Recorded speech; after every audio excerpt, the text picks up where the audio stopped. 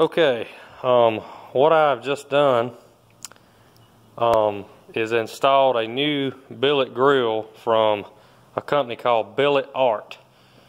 Um, you'll have to uh, send them an email to buy one of their grills. It's really the only way to get in touch with them. But the installation's all done. In the prior video, I was going to pause it. Um, you just have to watch that one. It's really short. I basically just show the front of the car with this stock grill in it. These original Monte Carlo grills are made out of pot metal.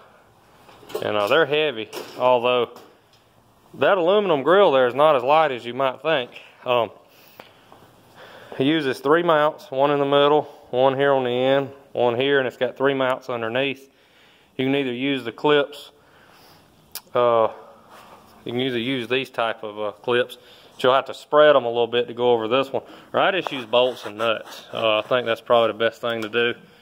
Um, I also spent probably the last 20 minutes getting that grill emblem back in there and getting it in there just right.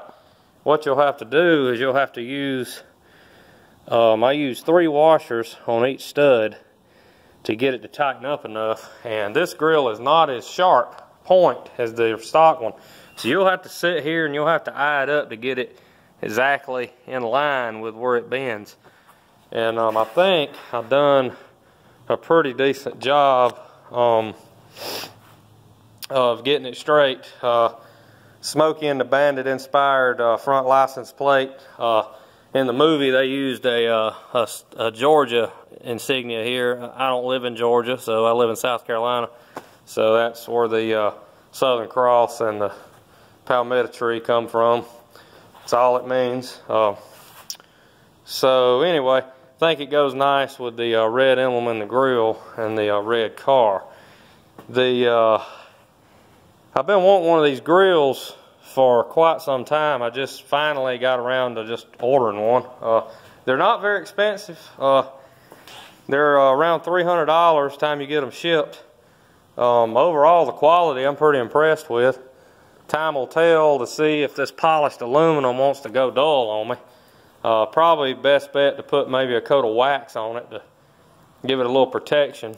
Uh, this car sits inside. Imagine if you outdoors a lot more, it'll it'll affect it more. While I've got it on the video here, I want to show the uh, cutoff switch and the 71 SS rear tail panel as well as my decal in the window. Turn the uh, park lights on.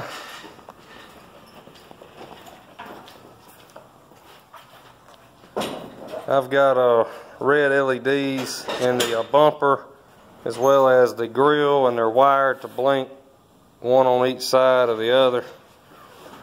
So anyway, that's the installation of the uh, of the grill. Um, I'm amazed at how uh, close it looks to the uh, original. Mm -hmm. Yeah. So uh, there it is. Any questions? Let me know.